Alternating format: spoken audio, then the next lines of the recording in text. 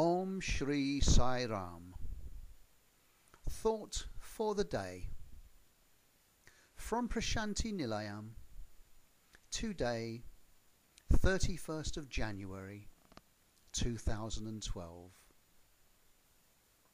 Avatara Purushas, divine advents, have no merit or demerit accumulated in former births unlike ordinary mortals.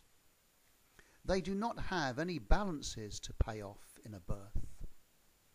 Theirs is a Leela, divine play, a birth taken on. The goodness of the good and the wickedness of the bad provide reasons for an avatar of the Lord. As a result of the advent of the Lord, the good will be happy and the bad will suffer. The avatar, however, has no joy or grief, even when enveloped in the body it has assumed.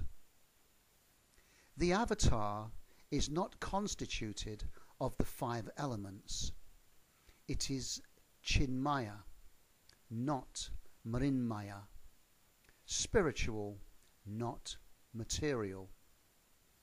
It can never be disturbed by egoism or the sense of mine and thine. It is untouched by the delusion born of ignorance. Though men may mistake an avatar as just human, that does not affect the avatar's nature. An avatar comes for a task and is always bound to accomplish it.